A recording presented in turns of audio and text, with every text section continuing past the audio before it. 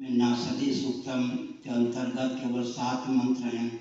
उन सात मंत्रों के माध्यम से सृष्टि के स्वरूप का जो चित्रण किया गया है, परमात्म तत्व का जो चित्रण किया गया है, उसे कोई अन्यथा सिद्ध नहीं कर सकता। विज्ञान और वैज्ञानिकों को भी दिशा देने की क्षमता हमारे वेदादि शास्त्रों में है, उनके मर्मज्ञ मनुष्यों में है। इसी के बल पर हिंदू, राष्ट्र, भारत होगा, पूरे विश्व में हिंदुत्व के प्रति आस्था होगी।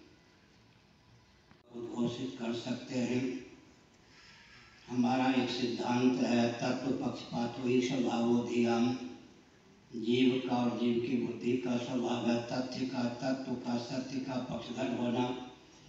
सबके पूर्वज सनातनी वैदिक हिंदू थे। चाहे मोहम्मद साहब रहे हों, चाहे ईसा मसीह जी रहे हों या तो ऐतिह्य तथ्य है कि सबके पूर्व सनातनी वैदिक आर्यन थे।